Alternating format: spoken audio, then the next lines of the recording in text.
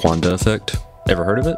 It's what helps planes fly, explains Newton's and Bernoulli's laws, and in the future could improve UAVs. As UAVs and drones become more utilized in modern day, we are reaching their limitations, which led me to design a surface that utilizes the Coanda effect to help generate more thrust for drones, which would allow faster takeoff times, larger towing capabilities, and faster travel speed. To help reach this goal, I 3D printed a prototype model of a Coanda surface to use with a thrust stand. 3D printing can be difficult, but eventually I found the balance between efficiency and speed to produce this.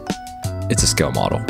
The actual prototype will be 6 inches in diameter, so I'll enjoy printing that at a later date. I also conducted simulations through CFD software. Since my simulations are so complex, they can take anywhere from one and a half to three hours, so it's good to have things to keep you busy, like your math homework or even editing this video. Once the simulation finishes, we get these cool graphics that can represent the flow of air, pressure on the propeller, or velocity of the air as it passes the propeller. Through the use of these and other engineering skills, I'll be able to complete my project and present it at the UA Little Rock Research Expo in April. Hope to see you there.